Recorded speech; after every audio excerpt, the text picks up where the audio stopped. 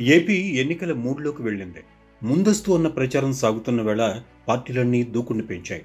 TDP Janasena పొత్తులు దాదాపుగా confirm అనిపిస్తున్నా తనను సీఎం చేయాలంటూ పదే పదే పవన్ చెప్తూ ఉండడం కొత్త చర్చకు కారణమవుతోంది.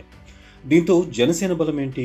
పవన్ వ్యాఖ్యలు ఏంటి అని లెక్కలు తీసే పనిలో పడ్డారు జనాలు. అయితే ఇప్పుడు సర్వే సంచలన నిజాలు బయట పెట్టింది. జనసేన వర్గాలకు ఇది జోష్ నింపుతుంటే టీడీపీ నేతలను టెన్షన్ పెడుతోంది. రెండు వేల పంతొమ్మిది ఎన్నికల్లో నూట నలభై ఆరు అసెంబ్లీ స్థానాల్లో పోటీ చేస్తున్న జనసేన మిగతా స్థానాలను మిత్రపక్షాలకు కేటాయించింది. అయితే ఆ ఎన్నికల్లో జనసేన భారీ పరాభవాన్ని మూటకట్టుకుంది కేవలం ఒక్క సీట్లో మాత్రమే విజయాన్ని సాధించింది. గెలిచిన ఎమ్మెల్యే కూడా రెబల్గా మారి వైసీపీతో సన్నిహితంగా ఉండడం స్టార్ట్ చేశారు.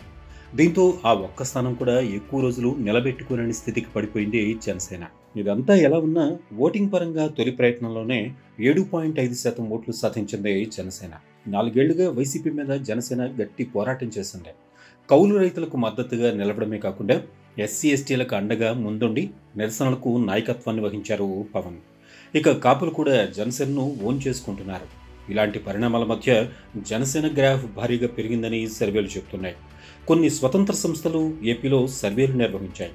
ఇప్పటికిప్పుడు ఎన్నికలు జరిగితే ఏ పార్టీకి మెజార్టీ వస్తుందో అంచనా వేశాయి. ఈ సర్వేల్లో జనసేన ఓట్ల శాతం ప్రత్యేకంగా ప్రస్తావించారు. ఉద్యోగులు మధ్యతరగతి జనాలు జనసేనకు ఓటు వేయడానికి అనుకూలంగా ఉన్నారని సర్వేలు అంచనా వేస్తున్నాయి. మేజర్లుగా మారిన యువకులు ఓటు వేయడానికి అర్హులు. గతంలో ఓటు వేయని వారు కూడా జనసేనకు ఓటు వేయడానికి సిద్ధంగా ఉన్నారు.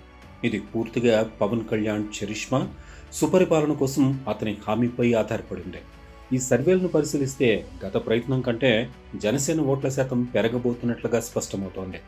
మునిపటి ఎన్నికల ఓట్ షేర్తో కలిపితే జనసేన మొత్తం ఓట్ షేర్ రెండు అంకెలు అంటే పది శాతానికి చేరుకోవచ్చని సర్వేలు చెబుతున్నాయి.